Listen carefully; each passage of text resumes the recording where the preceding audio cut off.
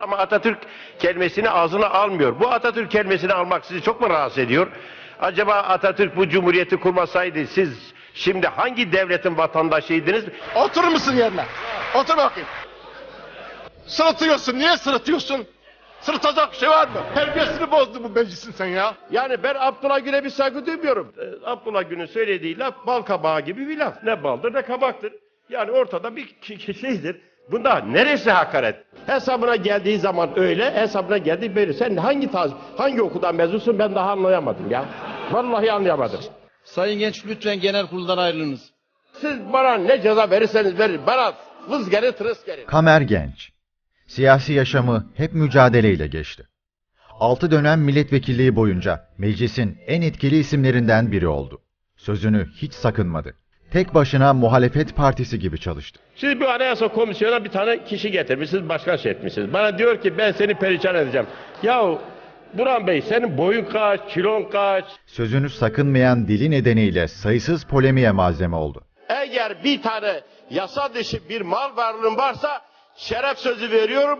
Bunu hazineye bağışlarız. Sen de var mısın? Geri çekilen namussuz mudur? Alçak mıdır? Şerefsiz midir? Kamer Genç 1940'ta Tunceli'nin Nazımiye ilçesinde doğdu. Ankara İktisadi ve Ticari İlimler Akademisi'nde okudu. Bingöl'e vergi kontrol memuru olarak atandı. 1966 yılında Danıştay sınavını kazandı. Danıştay Tetkik Hakimliği ve Danıştay Savcılığı yaptı. Danıştay'daki görevi 12 Eylül'ün ardından son bulan Kamer Genç, 1981 yılında Tunceli'den Danışma Meclisi üyeliğine seçildi.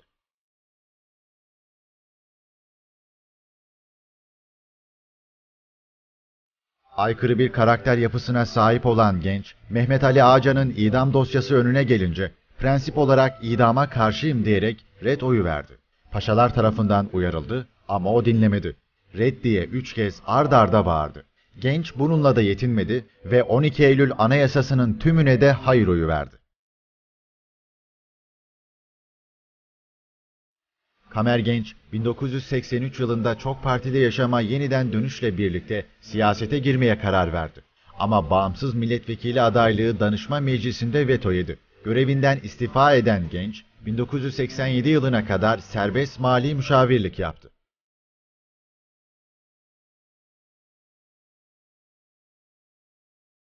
...87 seçimlerinde ise meclise girmeyi başardı.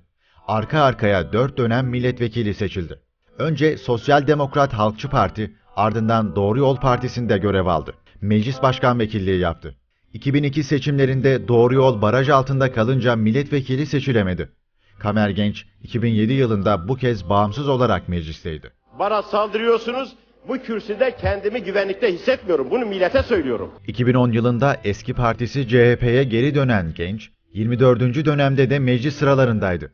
Verdiği soru önergeleriyle, milletvekilleriyle girdiği polemiklerle meclisin en konuşulan isimlerindendi. Sözünü sakınmayan bir siyasetçi olarak zaman zaman genel kurul çalışmalarına katılmama cezası bile aldı. Sayın Genç lütfen genel kuruldan ayrılınız. Siz bana ne ceza verirseniz verin. Bana vız gelin tırıs gelin. Genç 7 Haziran seçimlerinde bir kez daha Tunceli'den aday adaylığı için başvurdu. Ancak aday gösterilmedi. Üstelik CHP Genel Merkezi'nden hasta olduğu için aday olmadığı ima edildi. Bu duruma sinirlenen Kamer Genç, CHP Genel Merkezi'ni yalanladı. Sosyal medya hesabından yaptığı açıklamada, Tunceli'de CHP'den aday adaylığı için başvurdum, aday gösterilmedim dedi. Ben diyorum ki Fethullah Gülen'in ilk 700 tane öğrencisini getirip de Tay- şey Bülent Arınç efendim şiir okutup da bu şiirleri kim yazdı Fethullah Gülen demeye hakkı var mı bunun? Fethullah Gülen tehlikesine dikkat çekti, iktidarı meclis kürsüsünden defalarca uyardı. Hepiniz de benden iyi biliyorsunuz. Amerika'ya giden özellikle AKP'li milletvekilleri Fethullah Gülen'i gidip ziyaret ediyorlar. Şimdi bu Fethullah Gülen'in bir gün bu meclisi açalım. Kimdir bu arkadaşımız? Ne yapmak istiyor? Türkiye'de bunun bu sermayesi nereden geliyor? Acaba Türkiye'deki rejimdeki rolü nedir? Bunları bir araştıralım. Niye bunu çekiniyorsunuz? Bu, peki ya- yarın bunun en büyük zararını siz çekeceksiniz. Ben çekmem. Bu uyarılar o dönem şimşekleri üzerine çekse de 15 Temmuz sonrasında AKP'lilerin de en çok paylaştığı konuşmalardan oldu. Efendim şimdi bir bakın. Ef- efendim, Sayın bakın. milletvekili, lütfen Efendim, yerinize Ben konuşurum oturunuz. bunları ya. Burası kürsü masumiyeti vardır. Milletvekilleri istediği gibi konuşurlar. Lütfen. Lütfen yerlerinize oturunuz. Ya Şimdi Sayın Başkan. Efendim? Efendim? Var var benim var. Benim var. Sen- Sayın Genç Ya- sözünüzü bağlayınız lütfen. Efendim bağlayacağım da Sayın Başkan. Efendim ben CD seyretmeye gerek yok. Ben burada belli bir 30 senedir bu parlamentodayım ya. Siz bir defa hiçbiriniz benim kadar deneyim sahibi değilsiniz ki. Ben diyorum ki Türkiye'den burada bir tehlike var. Genç, ödünsüz Atatürk ve Cumhuriyet sevdalısıydı. Atatürk kelimesini ağzına almıyor. Bu Atatürk kelimesini almak sizi çok mu rahatsız ediyor?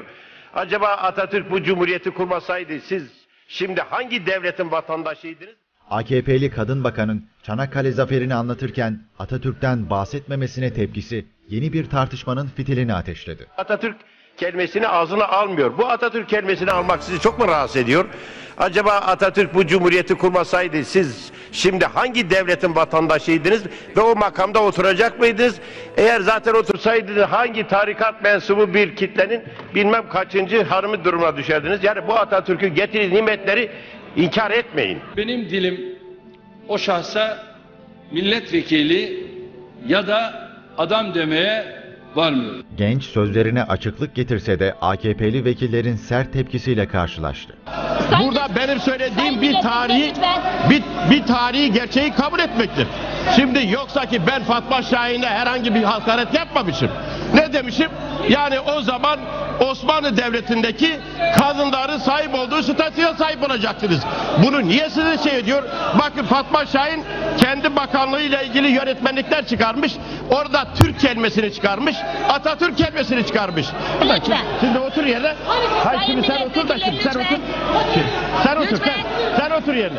Kürsüde konuşan gençin üzerine yüründü, ağza alınmayacak hakaretler edildi, ölüm tehditleri dillendirildi. Mücadele adamı Kamer Genç, sadece meclis kürsüsünden yaptıklarıyla yetinmedi. Siz bu anayasa komisyona bir tane kişi getirmişsiniz, başkan şey etmişsiniz. Bana diyor ki ben seni perişan edeceğim. Yahu Burhan Bey senin boyun kaç, kilon kaç? Bölücü ve gerici anayasa girişimine karşı milli anayasa için adım adım dolaştı. Birleşeceğiz artık siyasi menfaatlerimizi bir tarafa iteceğiz. Bu ana, milli anayasa formunun temel hedefi de bu olmalıdır. Biraz önce değerli arkadaşlarımız dedi artık burada hiçbir parti, hiçbir kişi önemli değil. Türkiye Cumhuriyeti Devleti'nin var olup yok olma meselesidir. Tunceli'nin köyünden yetişip meclis başkan vekilliğine kadar yükselmişti. Bunun da Atatürk ve Cumhuriyet sayesinde olduğunu her yerde vurguladı. Bu memlekete, Türkiye Cumhuriyeti Devleti'ne ve milletimize can borcumuz var. Bu can borcumuzu gerektiği zaman canımızı feda etmesini bilmeliyiz. Türkiye Cumhuriyeti Devleti'ni yıkacak mıyız, yıkmayacak mıyız? Bunu yıkanların suratına tokatı yapıştıracak mıyız? Memleketimizi bölmeye çalışanların suratına tokatı yapıştıracak mıyız? O zaman el birliğiyle hareket edip bu hain çetelerle hayatımızı da ortaya koyarak mücadele edeceğiz. Evli ve iki çocuk babası olan Kamer Genç, pankreas kanseri teşhisiyle uzun süre tedavi gördü. Ancak 22 Ocak 2016'da kansere yenik düştü.